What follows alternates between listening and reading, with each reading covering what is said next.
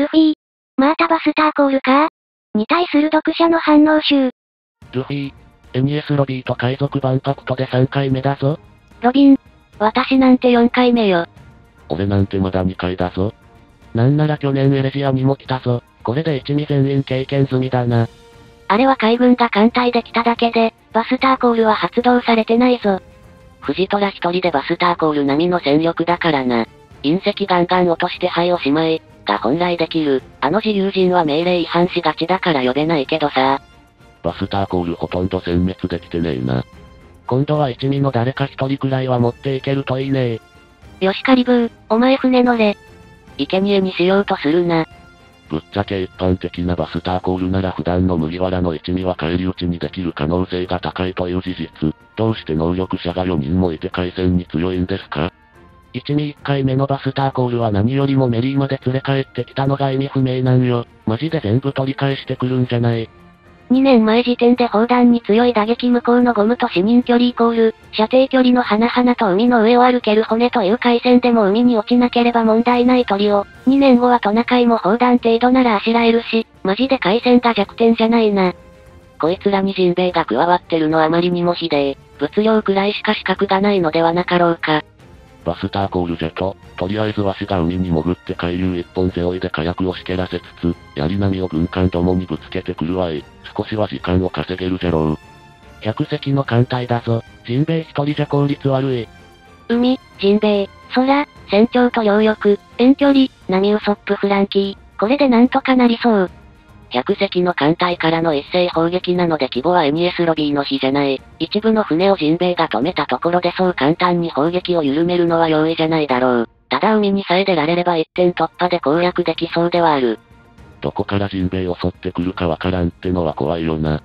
映画含めても唯一のバスターコール未経験者だが別に不安は感じない人。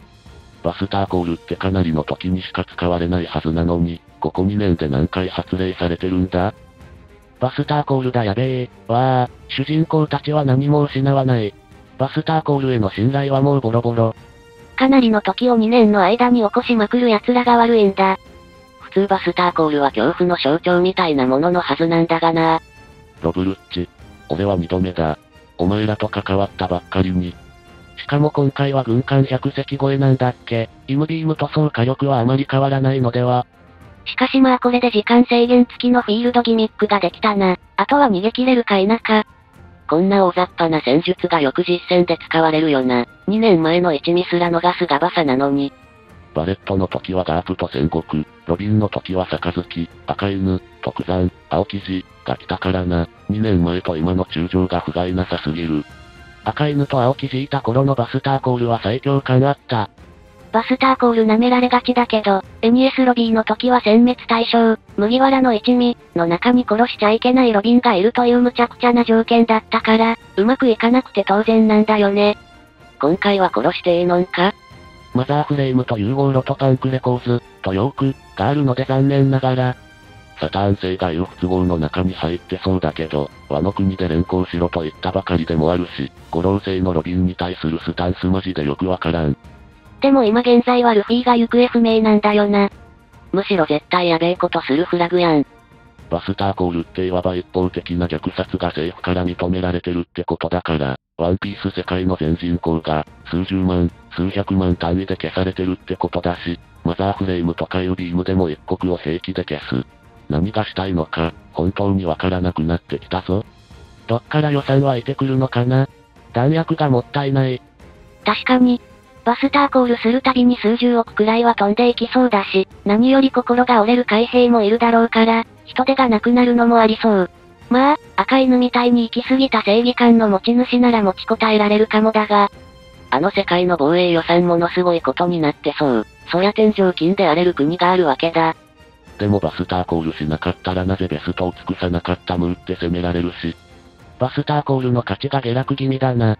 というか、エッグヘッド島近くに確か、黒ひげの船がある描写なかったっけ？バスターコール前に逃げ帰るんかな？正直、ガープ側も大変なことになってるから、そっちにも手を回してほしいが、エッグヘッド島優先なんだろうな。世界に衝撃、ショックを与えるエッグヘッドの事件の内容がまた、わからなくなってきたぞ。バスターコールは確かに衝撃だが、黒ひげに横殴りされないといいね。海軍に懸賞金かかった今じゃ、ある意味宝の山。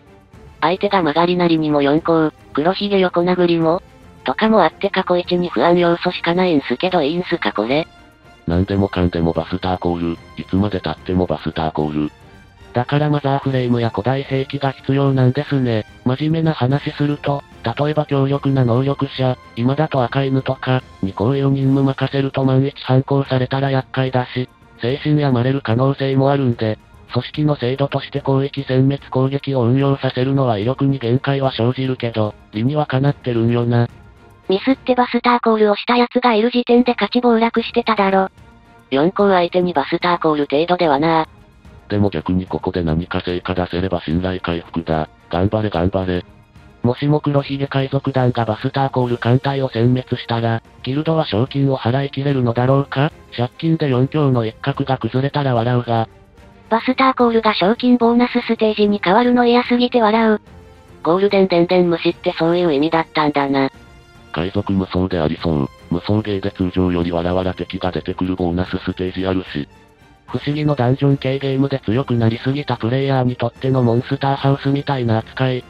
エニエスロビーの時はためらい橋のロビン以外は殲滅って命令で、CP9 倒して心バーさんに回収された一味がそのロビンと一緒にいたし、ルフィとルッチが島内で戦闘継続中だったので集中放火ができず、結局海兵たちが直接討伐に出向かざるを得ないという縛りあったから許してやれ。中将が出張ったら終わってたとは思うがまあ指揮官だからしゃあない。なおいつもより互いに戦力大きいのに今回も縛りがある模様。もはやルフィたちなら慣れてそうで草なんよな。バスターコール慣れるってなんなんだよ。人生で3回4回もバスターコール受けるとは海軍も思わんやろ。そもそも、民間人とかも殲滅させてるのは、反落の目を潰すのもあるのかなって。自分の国を海軍が滅ぼしたってわかれば、海軍に像を抱くこと間違いなしだからな。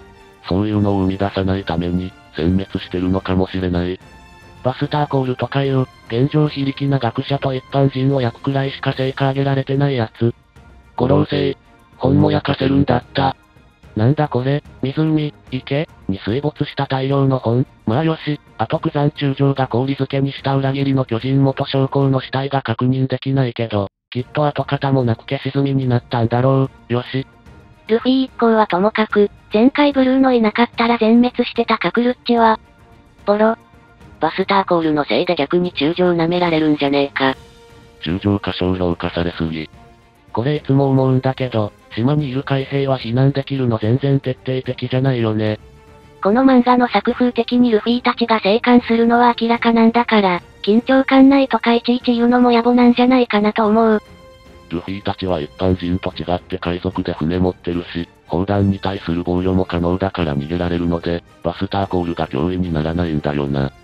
正直、一般人からしたらバスターコールは恐怖の対象だが、海賊とかからは実力試しみたいに思われてる気がする。普段出てこないだろう中将や上積みの海兵とやり合える可能性があるってだけで、バーサーカーみたいな人なら戦いたくなると思うんだよね。それに、稀にしか発令されないから恐怖になるのに、簡単に発令されてるからな。